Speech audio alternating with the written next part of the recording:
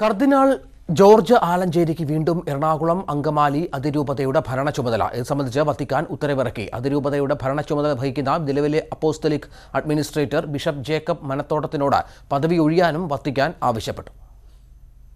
എറണാകുളം അങ്കമാലി അതിരൂപതയിലെ ഭൂമി വിവാദത്തെ തുടർന്നാണ് കഴിഞ്ഞ വർഷം ജൂണിൽ കർദിനാൾ മാർ ജോർജ് ആലഞ്ചേരിയോട് ഭരണച്ചുമതല ഒഴിയാൻ വത്തിക്കാൻ ആവശ്യപ്പെട്ടത്.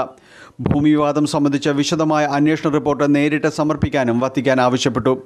അതുവരെ അതിരൂപതയുമായി ബന്ധപ്പെട്ട എല്ലാവിധ ഭരണ ചുമതലകളിൽ നിന്നും മാർ ജോർജ് ആലഞ്ചേരിയെയും സഹായമെത്രാന്മാരായ സെബാസ്റ്റ്യൻ എടേന്ദ്രത്തിനെയും ജോസ് പുത്തൻവീട്ടിനെയും മാറ്റി നിർത്തിയിരുന്നു.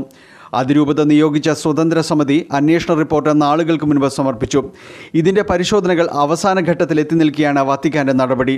നിലവിലെ അപ്പോസ്റ്റലിക് അഡ്മിനിസ്ട്രേറ്റർ ബിഷപ്പ് ജേക്കബ് മനത്തോടത്തിനെ അടിയന്തരമായി വത്തിക്കാനിലേക്ക് വിളിപ്പിച്ചിട്ടുണ്ട്. എറണാകുളം അങ്കമാലി അതിരൂപതയുടെ ചുമതല ഒഴിയാനും അദ്ദേഹത്തിന് നിർദ്ദേശം നൽകി. സ്വതന്ത്ര സഭകളുടെ ചുമതല വഹിക്കുന്ന ഓറിയന്റൽ കോൺഗ്രിഗേഷന്റെതാണ് തീരുമാനങ്ങൾ. സഹായമെത്രാന്മാർക്ക് അധികാരം തിരികെ നൽകിയത് സംബന്ധിച്ച നിലവിൽ സൂചനകളില്ല. വൈകിട്ട് തീരുമാനങ്ങൾ വ്യക്തമാക്കുന്ന ഉത്തരവ് പുറത്തിറക്കും. ഭൂമി വിവാദം സംബന്ധിച്ച റിപ്പോർട്ട് പഠിച്ച ശേഷമുള്ള നടപടിയാണോ ഇതെന്ന് ഉത്തരവിൽ മാത്രമേ വ്യക്തമാകൂ.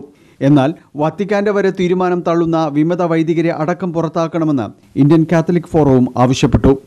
News eighteen Kochi